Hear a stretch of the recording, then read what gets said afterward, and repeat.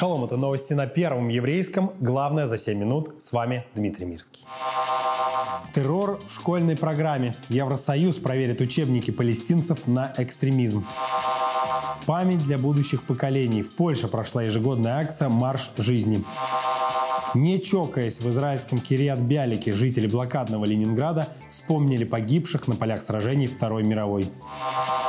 Минздрав Израиля призывает привиться от кори. За минувший год более 4 тысяч израильтян заразились опасной болезнью.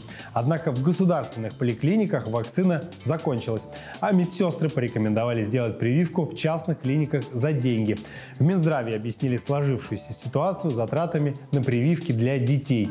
По данным ведомства, подхватить кори израильтяне могли во время поездок за границу. Жители сразу нескольких городов Израиля почувствовали подземные толчки минувшим вечером.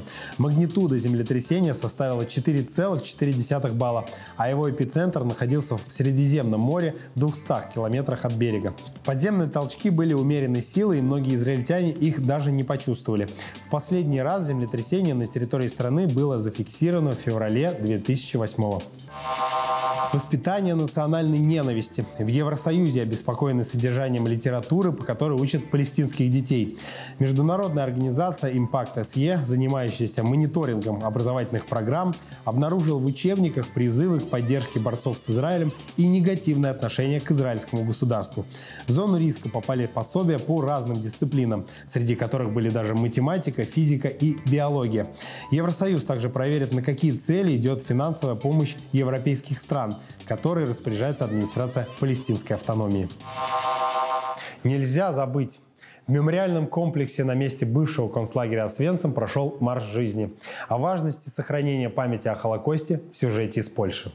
После доклада бывшего дипломата и офицера запаса польской армии Яна Карского о массовых убийствах евреев в Освенциме, заместитель министра обороны США Джон Маклой и военный министр Генри Стимсон отказались бомбить крематории и железные дороги, ведущие к лагерю, объясняя это тем, что США ведет войну ради защиты всей Европы, а не в интересах какой-либо категории населения, в то время как британское министерство авиации указывало на технические сложности бомбардировок и бессмысленности операций по уничтожению путей, ведущих к лагерю. Уже в 1942 году из расшифрованных немецких радиограмм союзники знали – что такие лагеря имеются в Бельцике, Собиборе, Майданаке, Треблинке, Хилмно. Виновны все. И те, кто физически помогал фашистам совершать свои зверства, и те, кто своим бездействием позволяли этому происходить. Я хочу обратиться ко всем участникам программы Евростарс. Вы в течение года прилежно занимались. Знания, которые вы приобрели – приближает вас к духовности и пониманию того, что значит быть евреем. Именно поэтому вы сегодня приехали сюда, чтобы передавать эти знания своим сверстникам и следующему поколению. Человек с перевязанной рукой Исроэль Кальштейн. 27 апреля, в последний день Песаха, в его синагогу ворвался террорист и открыл стрельбу. Одна женщина погибла, еще трое прихожан получили ранения. Кальштейн потерял указательный палец. Колонна студентов во главе с раввинами прошла маршем через лагерь с песней «Ам Исраэль Хай» — «Жив народ Израиля» и как оберег от повторения катастрофы «Мизуза» в каждый дом. Мы хотим, чтобы в каждом еврейском доме в вашем городе была мизуза. Марш жизни проходит ежегодно, с 1988 года. В этот раз одним из спонсоров мероприятия стал Герман Захаряев. По всему миру растет число преступлений на почве антисемитизма и ксенофобии.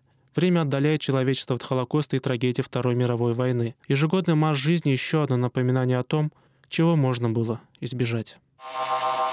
Праздник со слезами на глазах. В Кириат-Бялике прошли мероприятия в честь Дня Победы. Репортаж из Израиля.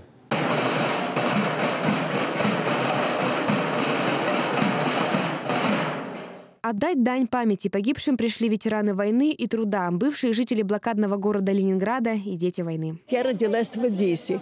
В Одессе, когда началась война, на второй день а, лишили мы воды совершенно. Получали воду по пол ведра воды. После этого я выехала. Э, после войны я была в Ленинакане, Сначала я была шишельница, а потом я была литейщик-формовщик.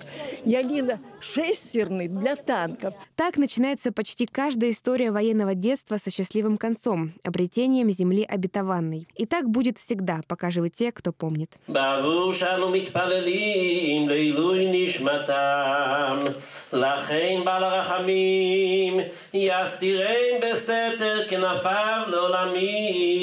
Ветераны надеются, что подрастающее поколение не забудет праздник Победы, что в школах и семьях не забудут о патриотизме и уважении к своей истории. Сегодня прошелся здесь бессмертный полк с портретами. Пришли ученики, дети, чтобы услышать и узнать про ту страшную войну, которая закончилась 74 года назад.